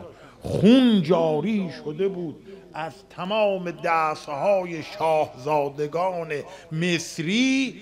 فلما رأینه اکبرنه و قطعن ایدیهن و قلن هاش لله ما هذا بشر. ان هو الا ملک کریم. شما حسین رو ندیدید که اونجور بیتابش بشید. یک بار حسش بکنید بفهمید کنارتونه او شور رو حس نمی کنید مزه نکردید تا به حال. نفهمیدید تا به حال. شما چی فهمیدین از امام حسین؟ از عشق امام حسین؟ یک ذره او. آیا آیا شاید؟ باید. از هر موجودی قرآن میگه. از هر موجودی نسبت به موجود دیگه اک مقام اکبر نهو. حاصل بشه. جوری از خودش بی خود میشه. فلما رأینه اکبر نهو. جوری از خودشون زنها بی خود شدن که حتی توجه به سیستم عصبی خودکار بدن خودشون نداشتن. آقا آقایون اتبا یه سوزن به یه کدومتون بزنن ده مدت جا میپریم بالا. یه مدت جا حداقل میپریم بالا. یه سوزن به چی شد؟ چی بود؟ یه سوزن بهت می‌زنن. اونا چه کارشون شده بود؟ آروم آروم. با چاقو دستاشون قرآن میگه نه من بگم ها سوره یوسفته قرآن میگه با چاقو دستاشون رو تیکه تیکه کردن درد را حس نمی‌کرد ایا میگن حال انتظار. وقتی همه دلت بره به امام زمانت ها کنده میشه از دنیا کنده میشه حتی از بدن خودت کنده میشه حتی درد رو حس نمی‌کنی. مثال دوم درباره شهداء کربلا مقتل رو نگاه کنید روایات فراوانه. روز آشورا چنان اصحاب ابی عبدالله غرق در توجه به امام حسین شده بودند که زخم نیزه و شمشیر را حس نمی کرد علم حدید از آنها برداشته شده بود. رفع عنهم علم الحدید. آقا این آبس شمشیر که به دستش خود کفش کنده شده بود. این چهار تا انگشتش کنده شده بود. هی اینجوری می‌کرد شمشیرش رو بگیره. نه نفهمیده بود چهار تاش کنده شده بود. هی می‌خواد شمشیر بگیره. نمیشه. نگاه کردید چه انگشتاش رفته نمی‌تونه شمشیرش درد شمشیر و زخم نیزه رو حس نمی‌کردن. یا میگن انقدر دلت غرق در توجه به محبوب و مولایت شده باشد که سیستم عصبی هم دیگه کار نمی‌کنه. درد را هم حس نمی مثال سوم جوونا اون طفل سه ساله یا چهار ساله اون دختر کوچولوییه.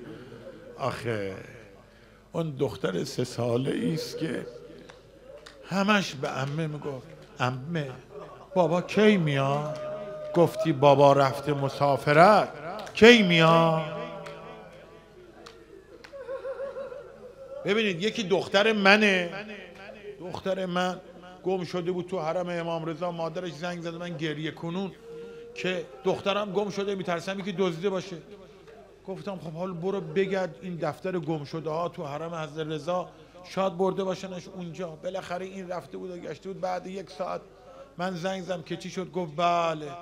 رفتم دیدم رفتن نشسته توی دفتر نشوندنش تو دفتر گم شده ها. یه پفک دادن دستش. داره میخند و پفک می‌خونه. یکی مثل دختر منه باباشو گم کنه مادرشو گم کنه با یه پفک از باباش یادش میره. یکی مثل من و توه تا بیاد یه گوشه دنیا تا چشش به یه کفش پاشنه بلند بیفته تا چشش به یه دختر مسیحی بیفته تا چشش به یه دنیایی بیفته تا چشش به یه ریاستی بیفته از امام حسین و امام زمون و از دین و قرآن و همه چی یادش میره. دلش همه چی این آدم ولگرده دلش همه جاییه. میرن می‌برن دلشو. اما بعضی بچه ها دین تو کوچه باباشون رو گم کردن مادرشون رو گم کردن هر چی می‌خوان عروسک میدن دستش پفک میدن دستش بیسکویت میدن دستش بغلش می‌گیرن نوازشش می‌کنن تو زار زار اش میریزه میگه یما یما ماما بابا بابا کجاست؟ جوونا چهل منزل از کربلا تا شام. هر کاری کردن این شست و چهار زن و بچه که رقیه باباشو یادش بره گریه نکنه. مگه می‌تونستن؟ مگه اصلا می‌تونستن این کارو بکنن؟ هر کار کردن یادش بره. نمی‌شد. صاحب از زمان چی گفتم امشب؟ انتظار چیه؟ همه دلتو بدی به بابا. هی بگی یا ابانا استغفر لنا ذنوبنا. انا کنا خاطئین.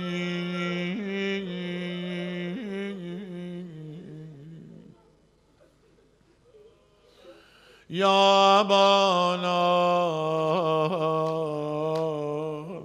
استغفر لنا ذنوبنا. انا كنا خاطئین. جوونا چهل منزل بغلش گرفتن می‌گفت بابا. نوازشش می‌کردن می‌گفت بابا. تازیانش می‌زدن می‌گفت.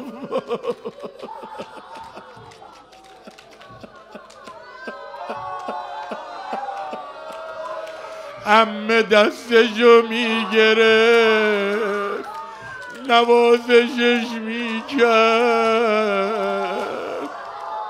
بازم می‌گفت بابا.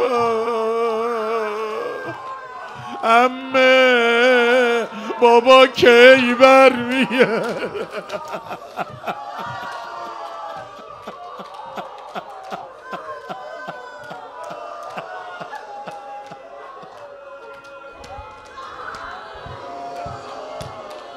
یه معمور خشن بود می اومد کنار محمل بیبی. بی با تازیانه تازیانه رو به حرکت در می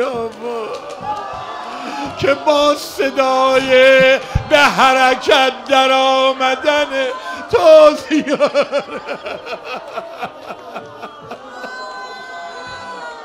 کودک و آرامش کنن بترسوننش.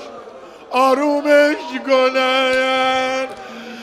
ولی بازم می‌گفت بابا.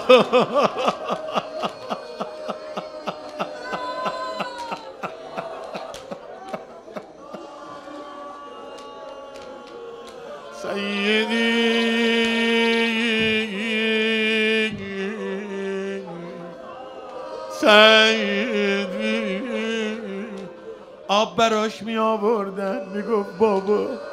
غذا براش می آوردن. می‌گفت بابا یه روز ام خیلی نوازشش کرد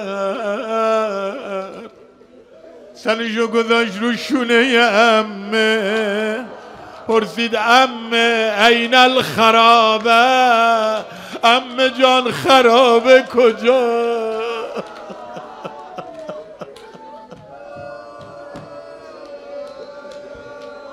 پرسید ام خرابه چیه می‌پرسی؟ چرا خرابه رو سوال می‌کنی؟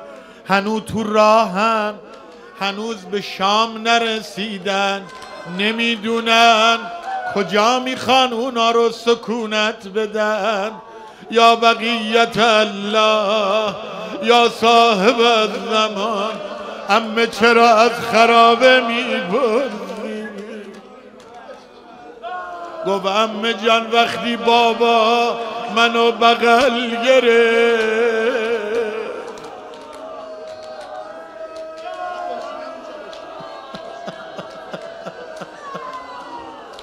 فرمود لا تحرقی قلبی به دمعتک بابا با یه عشقای چشت اینقدر جگر من آتش نزد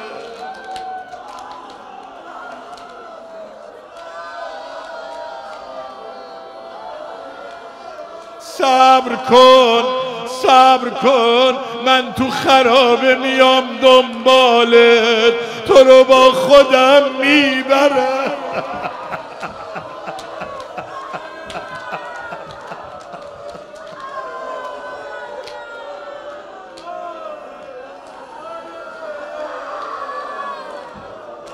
جوونا اگه دلت همه دلتو بدی به امام زمانه.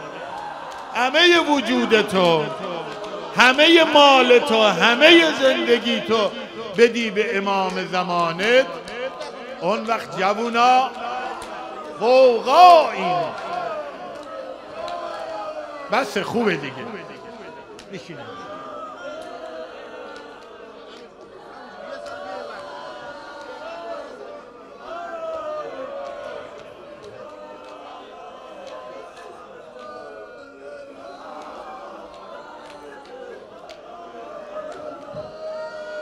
اگه همه دلتو بدی به امام زمانت جوونا اون موقع انقدر آبرو پیدا می‌کنی که دیگران باید بیان در خانه تو گدایی کنن هوایجشون رو به آبروی تو بگیرن. ببین رقیه چقدر پیش خدا آبرو داره.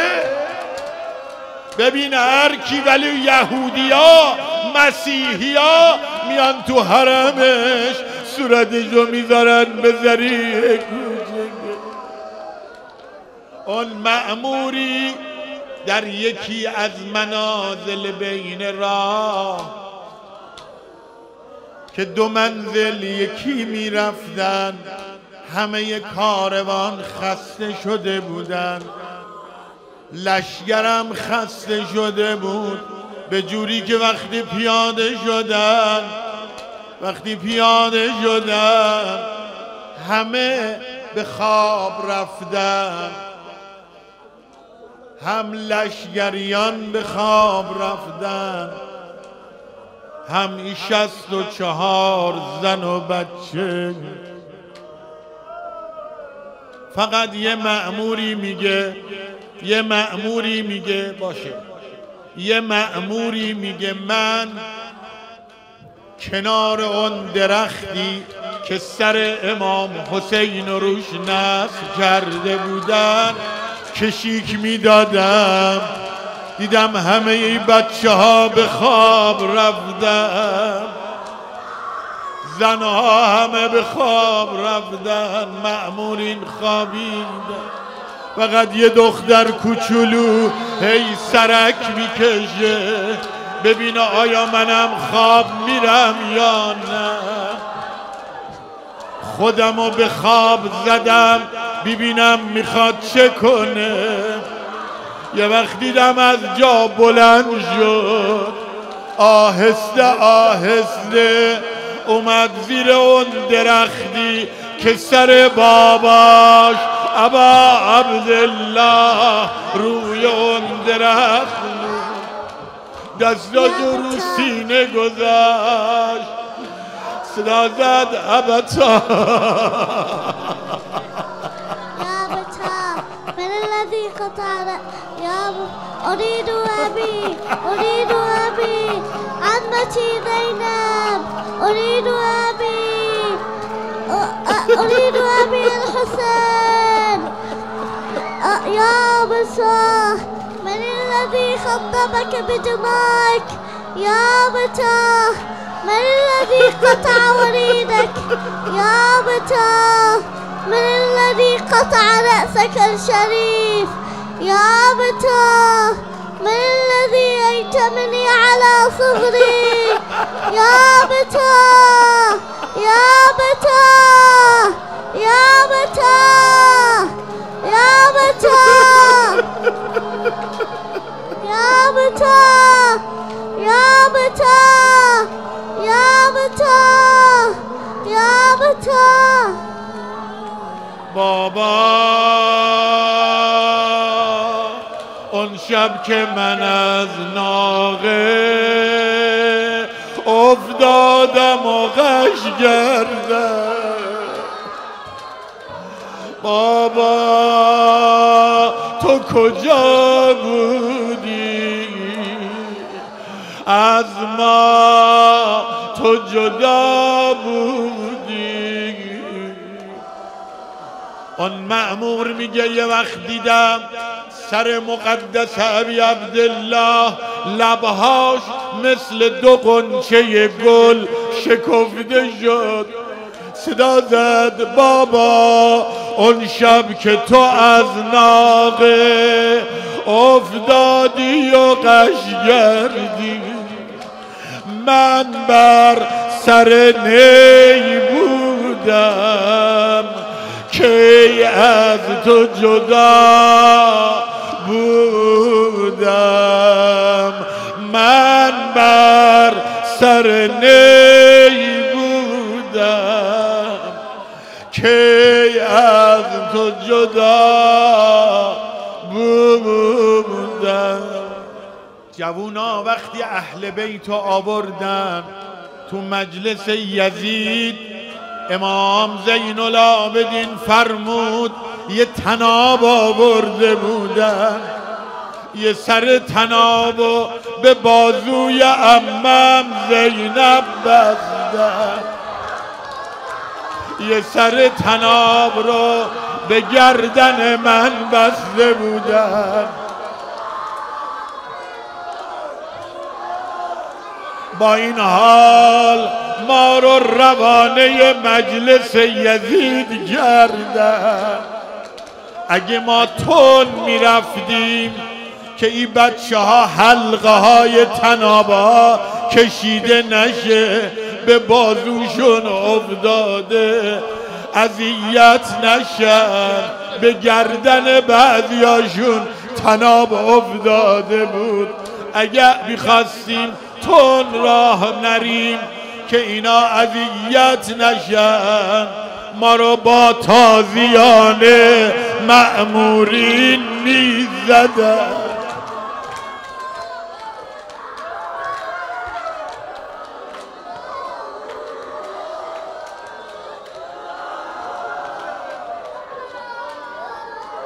اگه تون می‌رفتیم این حلقه های تناب به گردن بچه ها افتاده بود.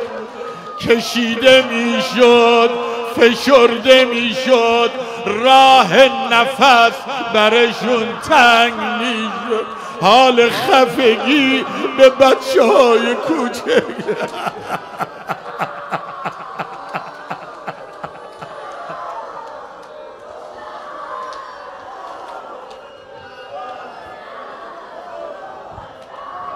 با این حال ما را وارد مجلس یزید کردن. وقتی همه در مجلس یزید نشسته بودن چشم یزید به یه دختر کوچکی افتاد.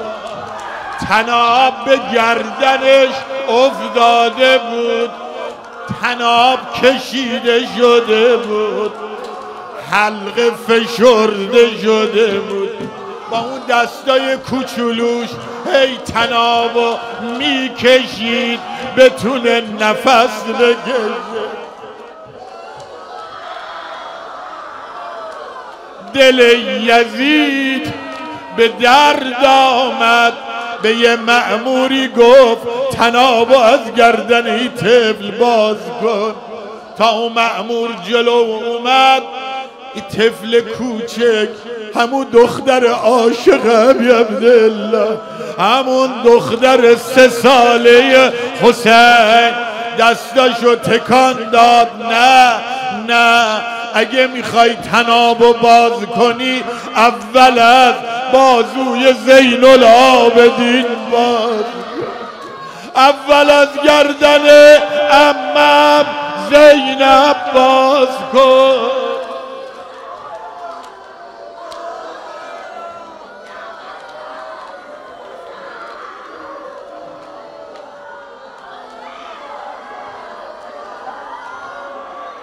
انتظار یعنی اول امام زمان تو. اول امام زمان تو مقدم بیاری.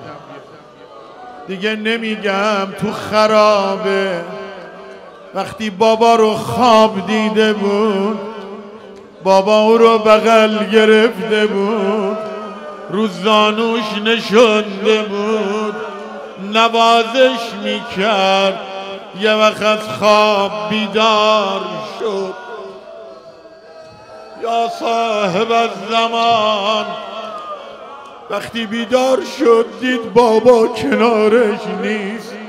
شروع کرد گریه کردن و بهانه بابا گرفتن. ابتا ابتا الان منو بغل گرفته بودی. الان منو نوازش می‌کردی. یکی یکی اهل البیت از خواب بیدار شدن دورشو گرفتن آرومش کنن. محدث قمی می نویسه در نفس المحموم. همون شب یزید ادهی از مأمورین را امر کرده بود نیمه شب خرابه رو بر سر اهل بیت خراب کنن همشون زیر آوار دفن بشن. تا معمورین آمدن برای اجرای اون نقشه. یه وقت دیدن همه اینا بیدارن یه طفلشون گریه می‌کنه بهانه بابا گرفته. یا صاحب زمان خبر به یزید دادن. گفتن نمیشه نقشه رو اجرا کنیم. طفلی از حسین بیدار شده تمام خراب نشینا بهانه بابا گرفتن همه بیدار شدن گریه می‌کنن. یزید برای اینکه دلشونو بسوزونه گفت سر بریده باباشو براش ببر. یه وقت رقیه دید خرابه پر از نور أريد أبي أريد أبي الحسين يا بتا يا بتا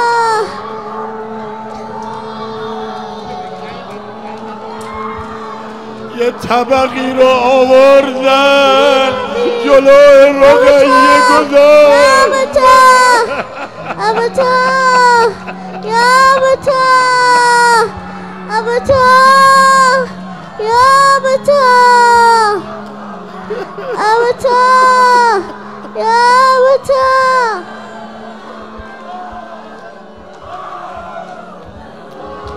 أبتا من الذي أيتمني على صغر سني؟ أبتا من الذي قطع وريده أبتا من الذي خذب شيبك. بابا کی محاسن تو خونی کرد بابا کی رگای گردن تو بریده؟ بابا. منو در این کودکی یتیمم خرابه تاریک بود شمع و چراغ نداشت. یه وقت دیدن سرش رو صورت بابا گذاشت.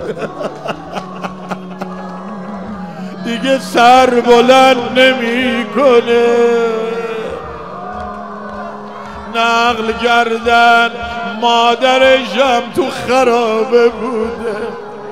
یه وقت دامن بیبی زینب رو گرفت. صدا زد خانومم زینبم چرا بچم دیگه گریه نمی چرا دیگه بابا بابا نمیگه!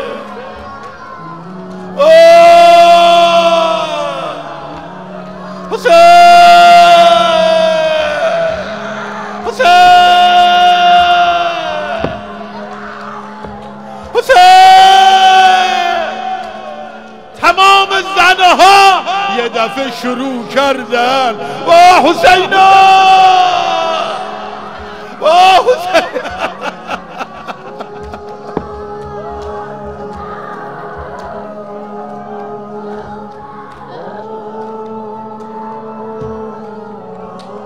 وقتی بچه رو بلند کردن از رو صورت بابا بغلش گرفتن دیدن جان به جان آفرین تسلیم.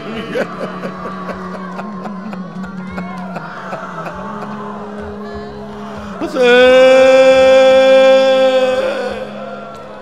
حسین.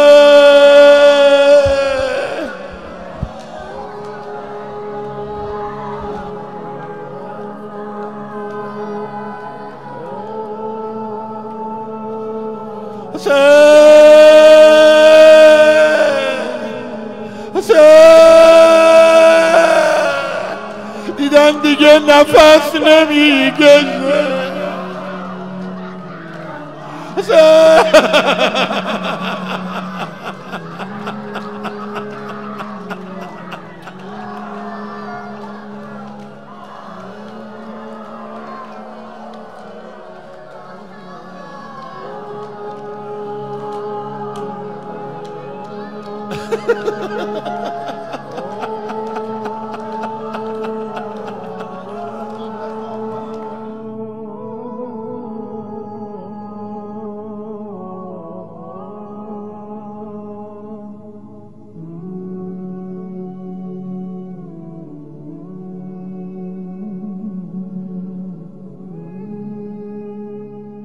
حسین شب شب خوبی جوانا شب امیده.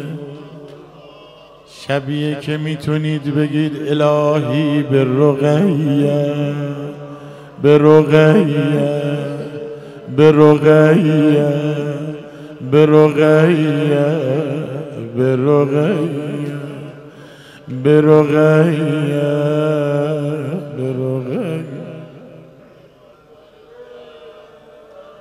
جوانا حالا که حالشو دارین یه سر بگم و امشب یه کلید بدم دستتون. از اون کلیدایی که تمام قفلا رو وا می‌کنه.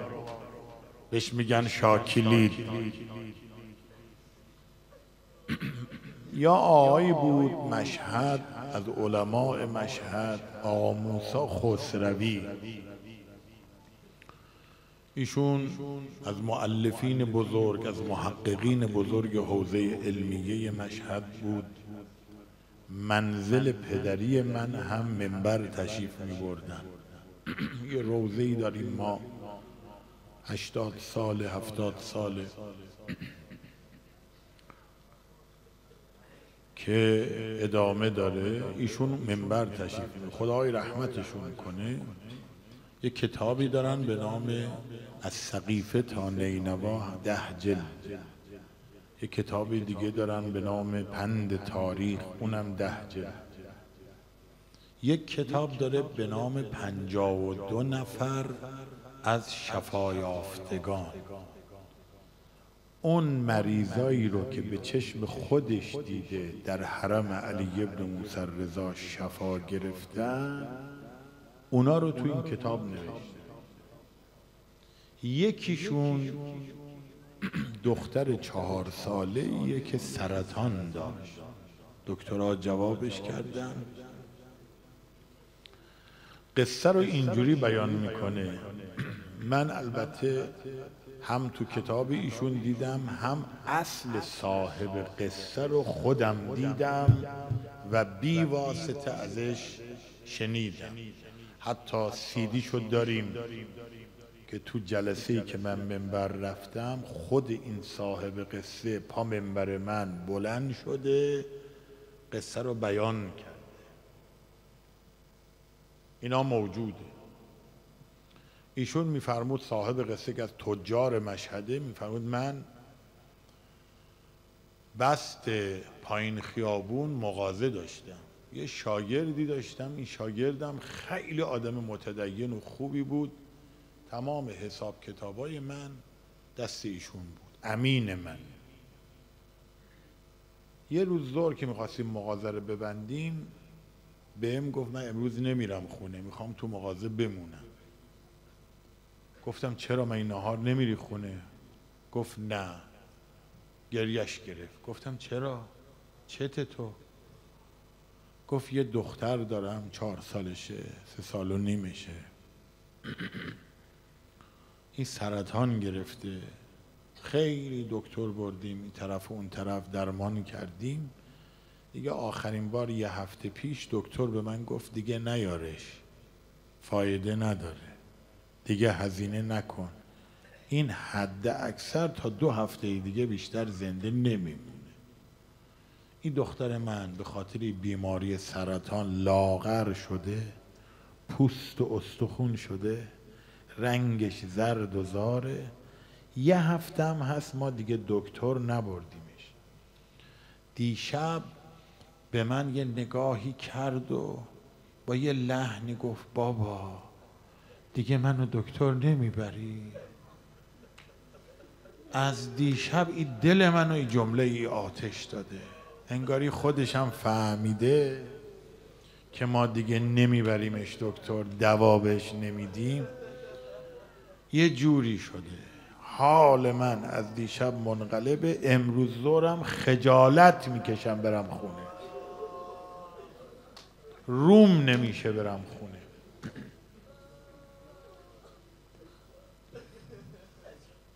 می‌خوام در مغازه بمونم. روم نمیشه به این بچه نگاه کنم. گفتم خب حالا رود نمیشه به بچه نگاه کنی رود نمیشه خونه بری. چرا حرم امام رضا نرفتی؟ چرا نرفتی به امام رضا بگی؟ خیلیاتون مشهد رفتین خیلیاتون حرم امام رضا رو دیدین. گفت حرم امام رضا هم زیاد رفتم بردمش. سه روز تو حرم با تناب گردنش رو بستم به زری. هرچی استقاسه کردم فایده نداره. امام رضا هم دیگه به ما محل نمیده. گفتم می‌خوای یه چیزی یادت بدم؟ امام رضا دیگه روشو بر نگردونه محلتون بده. جوانام می‌خواین امشب یه چیزی یادتون بدم؟ تو همین مملکت که هستین اگه یه وقتی کارتون گیر کرد. آی اون مادرایی که میگین دختر سه سالم از من دور مونده. امشب دعا کنید دخترم بهم برگرده. می‌خوای یه سری یادت بدم. اگه دیدی امام زمان جواب نمیدن دیگه یک کاری بکنی. حضرت روش نشه جوابتو نده. گریه کرد و بهش گفتم برو رو به رو زریح. رو به رو زریح امام رضا بیشین فقط همین جمله رو بگو. بگو امام رضا به امه سه سالت رقیه. به امه جانت رقیه. هی تکرار کن. هی بگو به رقیه. به رقیه. به رقیه. به رقیه. به رقیه. به پاهای پر آبلش. به اون صورت کبود.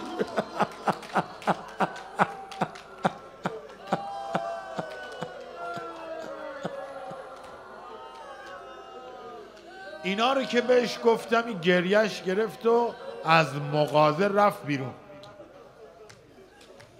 اصری هم دیگه نیامد مغازه. با که شاگرد ما بود باید می آمد اصری هم نیامد مغازه فردای اون رو فردای اون روز صبح دیدم یه جعبه شیرنی گرفته آمده در مغازه. گفتم ها چه خبره؟ چی شده؟ گفت حضرت رقیه کار خودشو کرد. گفتم چطور؟ گفت رفتم رو ایوان طلا تو بست پایین پا رو ایوان طلا تو صحن نو رو ایوان طلا نشست. رو به رو زریح امام رضا. گفتم امام رضا تو حرمتم نمیام. همینجا رو به رو زریح تو ایوان طلا میشینم. دیگه امروز نیامدم زیارت بخونم. حتی نیامدم سلام بکنم.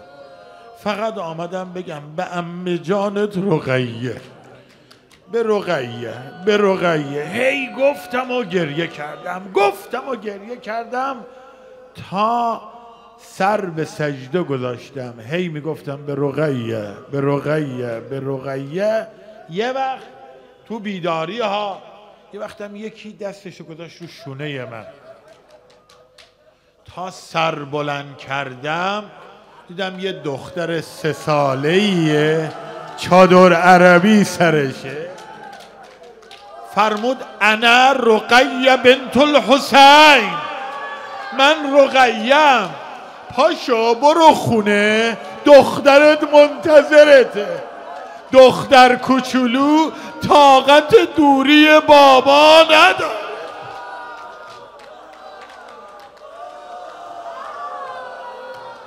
من بدنم به لرز اومد.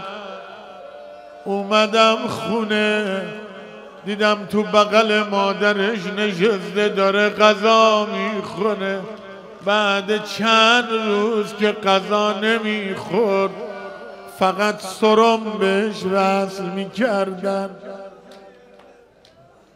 پرسیدم ها چی شده؟ گفت نمی‌دونم. یه چند لحظه قبل مادرش گفت چند لحظه قبل از خواب بیدار شد. گفت مامان برام غذا بیار. حضرت رقیه اومدن منو شفا دادن. بهم گفتن میرم دنبال بابات بابات بیاد خونه.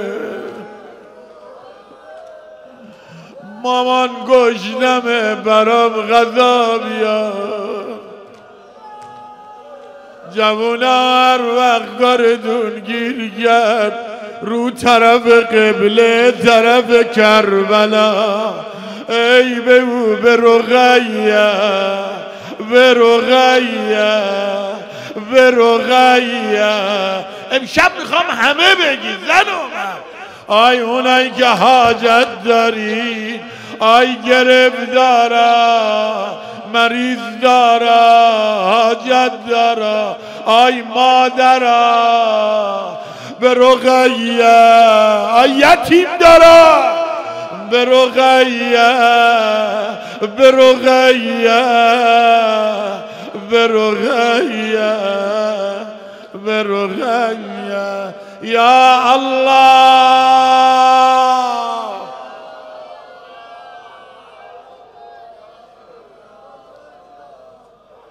اللهم عجل لوليك الفرج. اللهم